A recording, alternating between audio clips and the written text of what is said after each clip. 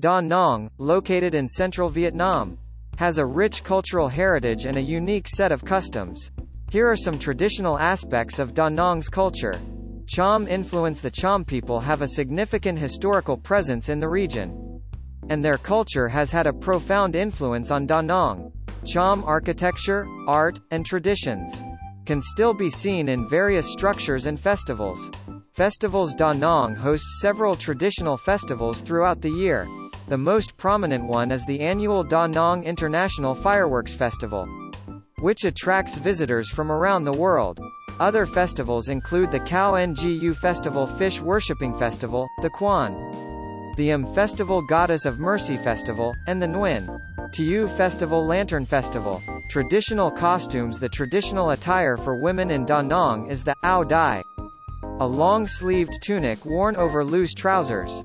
The Ao Dai is often vibrant and beautifully embroidered, representing the elegance and grace of Vietnamese culture. Cuisine Da Nang is known for its delicious and unique cuisine. Local specialties include Mi Quang turmeric-infused noodles, Banh Trang Cuon Thit Heo rice, paper rolls with pork, and Bun Cha Sie fish cake noodle soup. Seafood is also abundant due to the city's coastal location. Martial arts Da Nang has a long history of martial arts practice. Various martial arts schools can be found in the city, where traditional techniques and philosophies are taught. Traditional crafts Da Nang has a thriving handicraft industry. Local artisans produce items such as wooden sculptures, marble carvings, pottery, and lacquerware. These crafts reflect the skill and creativity of the people in the region.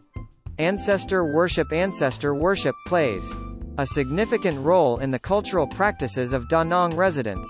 Families often have an ancestral altar at home, where they pay respects to their ancestors during important occasions and festivals. Folk games and music Folk games and music are integral to the cultural fabric of Da Nang.